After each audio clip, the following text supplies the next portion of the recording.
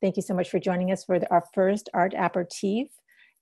Emily Banas, Assistant Curator of Decorative Arts and Design, will be walking us through vessels for storing, serving, and sipping wine and spirits. So thank you so much, Emily, for your time today.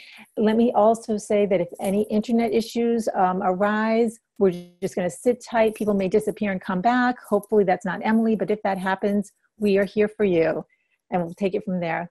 Thanks so much.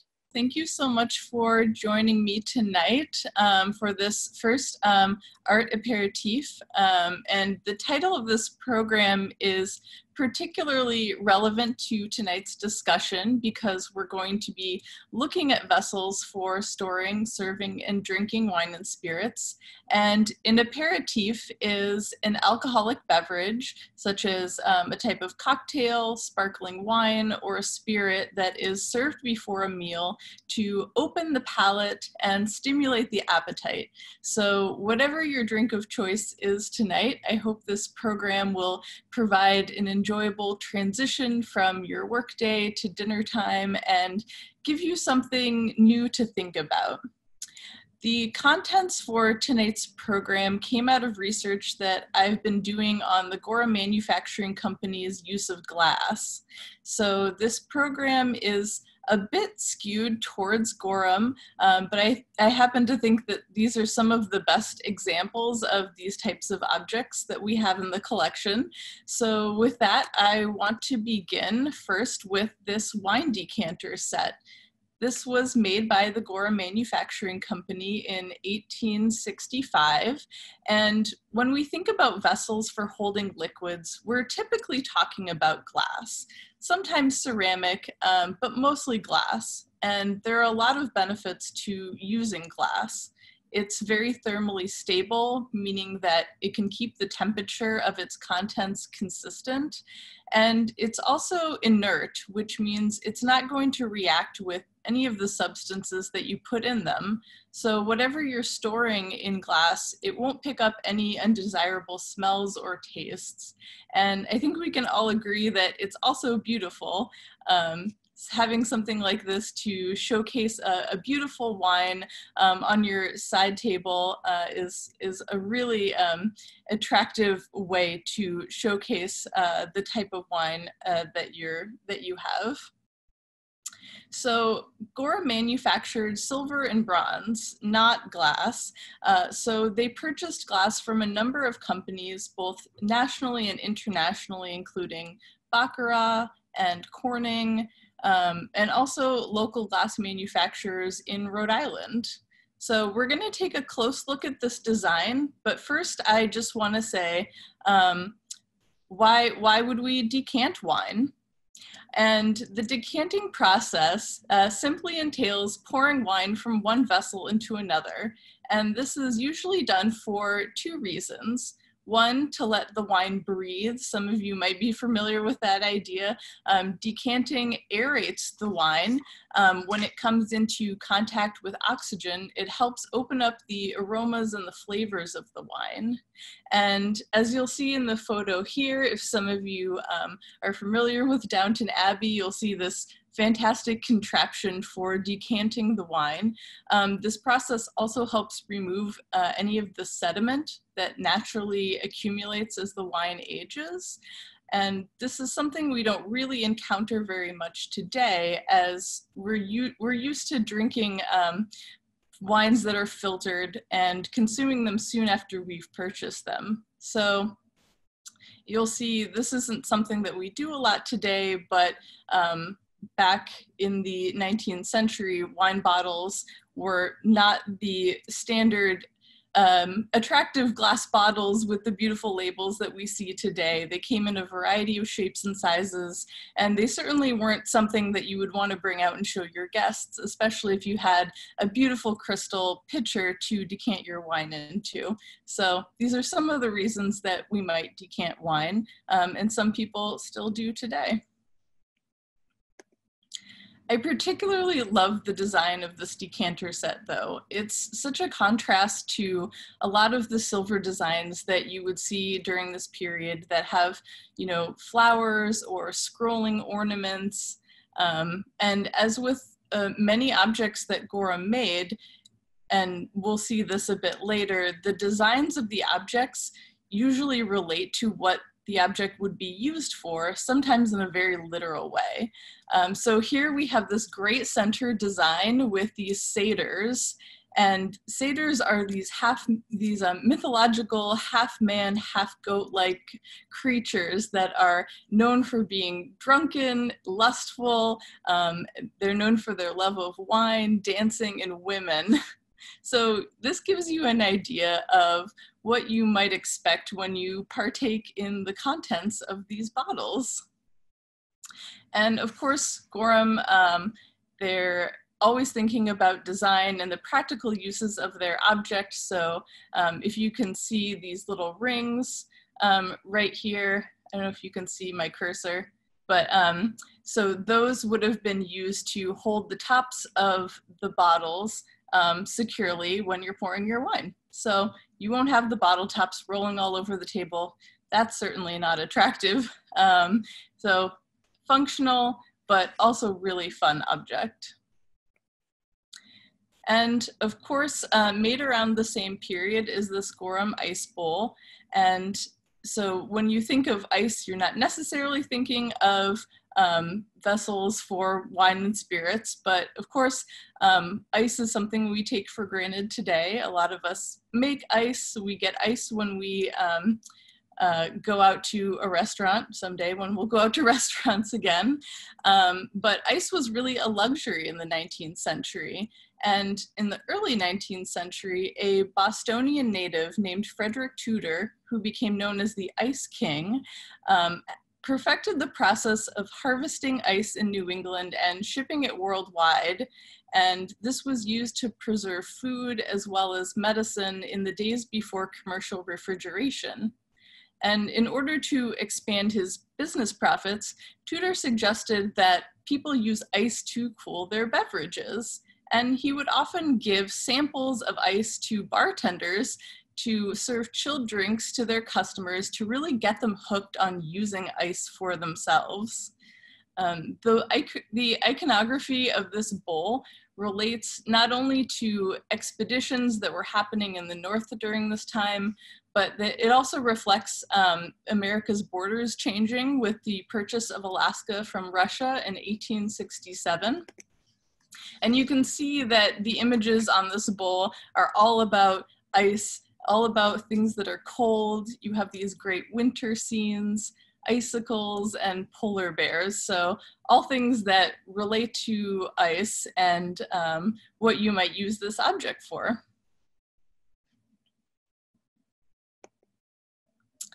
Now, although Gorham purchased fully finished bottles uh, to use in their silver holders, they would also embellish glass in a variety of ways, and one of them was through silver deposit. This process, um, actually one that Gorham patented in the 1890s, um, entailed using an electric current to deposit silver particles onto the glass, um, which was coated in a material to attract the silver particles, um, and then painting a resist varnish on the object and doing the process in reverse um, to reveal this great design. So it allowed you to really encapsulate um, an object in a silver um, design and we get things like this. These are um, whiskey decanters.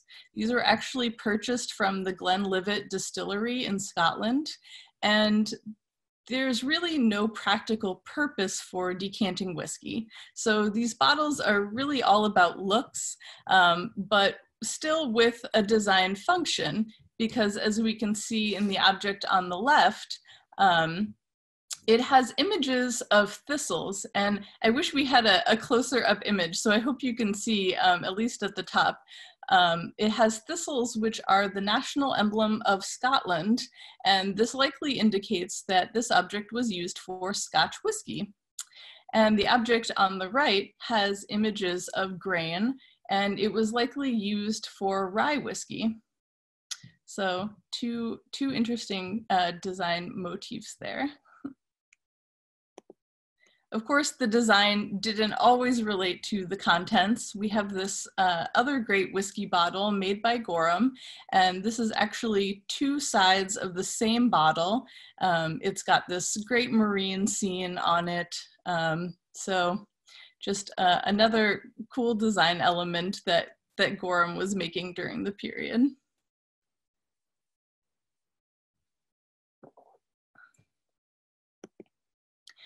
I want to jump ahead uh, a couple decades into the 1920s. It has been 100 years since Prohibition started, um, since Prohibition was introduced in the United States in 1920, and it lasted until 1933.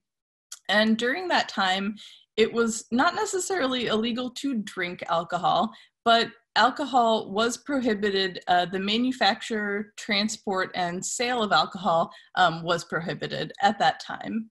But as we know, drinking still took place in speakeasies and private residences, and alongside Prohibition really grew this cocktail culture. And this inspired new designs um, in everything from dresses to glassware, and design conscious consumers drinking at home had many stylish options to choose from. I particularly love this uh, martini glass on the left. This was made by uh, the Austrian architect and designer Josef Hoffmann. He designed just about everything from buildings to chairs to flatware and glassware. And um, on the right, we have a beautiful 1920s cocktail glass. And martini glasses are often confused um, in shape with cocktail glasses, which makes sense because the martini glass design developed from the cocktail glass shape. The uh, cocktail glasses are slightly smaller, they're more rounded, um, and as, as you can see on the left, the long stem of the glass is really to keep your hand away from the bowl of the glass so that it doesn't warm up your drink. Um, similarly with a stemmed wine glass.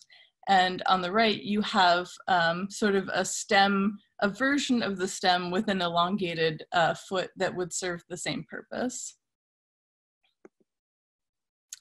Although vessels for mixing alcohol can be traced back for centuries, the modern cocktail shaker was invented around the mid 19th century, and a lot of patents emerged which modified the design and the shapes and straining capabilities um, into what we know of cocktail shakers today.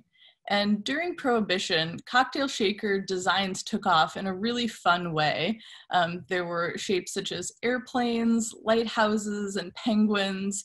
And you're probably wondering, why am I not showing you penguin cocktail shakers? Um, well, it's always interesting to see what your research reveals um, in your own collection. We don't actually own a cocktail shaker at the RISD Museum, which was a surprise. So here I have a design instead for a cocktail shaker set. This was made by the Danish designer Erik Magnussen, who worked at the Gorham Manufacturing Company um, from 1926 to 1929. And it's got kind of this, um, I would say, maybe a faux lighthouse shaped design. It's got some waves at the bottom. Um, I don't know if the set was ever actually produced, but it is very similar to designs that we know that Erik Magnussen did produce. But I just thought that was kind of a fun, fun fact. The culture of dining and entertaining really changed drastically between the First and Second World Wars multiple course dinners that required different pieces of flatware were no longer sustainable in a country that was facing food shortages and rationing. And a new culture of informal dining and entertaining really emerged during this time. And there were a lot of books and magazines that were there with helpful tricks to help navigate this new culture with ease. And one of them that you'll see here on the right was originally published in 1950 and it's still in print today, which I think is really interesting. It, it has a lot of the, it really resonates today um, with how we design and set up our homes. Um, designers Russel and uh, Mary Wright wrote Guide to Easier Living to help really the modern man and woman organize their homes and their lives for maximum efficiency and comfort, um, something that I think a lot of us could still use today. And of course, Russel Wright, being a very prolific designer in the mid century, designed lots of household items that, of course, could aid you in your easier living journey. So we have this wonderful set of Eclipse glasses. Um, the Wrights had many successful lines of glassware, um, ranging from fun and casual. Uh, perhaps these could be used at your outdoor barbecue. Um, and they have sizes for really um, particular types of cocktails. So we have the small little cordial glass, the highball glass, um, an old fashioned, and the tall glass is called the zombie. And I think that refers to a fruity cocktail that was called the zombie, um, but, but I'm not entirely sure. He also designed uh, lines of colored stemware in case you wanted something with a hint of elegance. And what I think is really interesting is that while having different flatware for every dish and every ingredient really fell out of fashion um, when we decided that you no longer need a fish fork to eat a fish course, a dinner fork is just fine, um, and you no longer need a fruit knife to cut into your cantaloupe.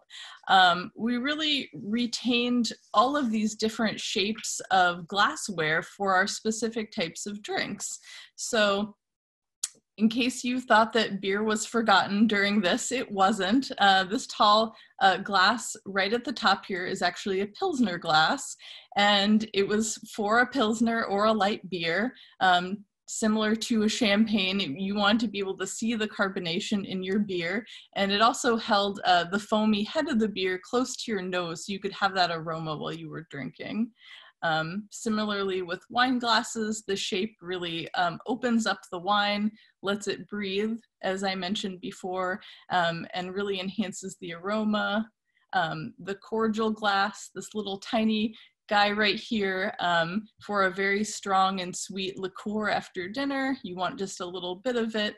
So you're not going to pour it in your wine glass. You're probably going to pour it in a size glass that's appropriate for the drink that you want. So I just think that's kind of an interesting thing about about glassware. You know, a lot of us, even if we don't have a whole range of glassware for different types of cocktails, you know, we'll usually have at least a, a, wine glass or maybe you know a champagne glass in our home for for those particular drinks. And if you're going out to a bar you're not going to get a martini in a beer glass. At least not that i've seen And um, we talk a lot about um, mass production and inexpensive materials during the mid-century. Um, but one of these uh, objects that I really love is this ice bucket. It's actually handmade uh, by Danish craftsmen um, using 48 pieces of a 100-year-old Siamese teak. This is per their advertisement for the ice bucket. And um, in case you didn't think you needed a new ice bucket, uh, this one has high impact polyethylene, which insulates it and keeps your ice really cold, or it also keeps food hot. So as we see here, this advertisement boasts that this ice bucket can hold 70 ice cubes or 120 hot Swedish meatballs. And if that's not enough for you, the bigger size ice bucket on the right can hold 140 cubes of ice or four quarts of stroganoff or six ears of corn. So, so kind of selling this as a multi-purpose, multitasking, you know, object for your party. So I started with Gorham. I think it's only appropriate that I end with Gorham. Um, the post World War, uh, post World War II, really solidified a lot of the lifestyle changes that had been slowly taking shape, and silver was really waning in popularity um, at this time when Americans were turning to aluminum and chrome, which was less expensive and also easier to care for. Um, but Gorham continued to adapt by offering objects in silver plate, which was less expensive than sterling, um, and with plastic handles, which were also less expensive than wood, um, but in the popular biomorphic shapes of the time. And in addition to the cocktail shaker, the pitcher also saw a rise in popularity for easy entertaining. So instead of shaken cocktails, um, mixed drinks could easily be served in this beverage server, and the long handled spoon inside, um, known as the stirrup spoon, uh, could stir up your cocktails and you could easily serve them to your guests. So it's a simple, elegant object, um, one that I really love. So we went from more ornate to a little bit more simple. Um, and I'm going to end it there.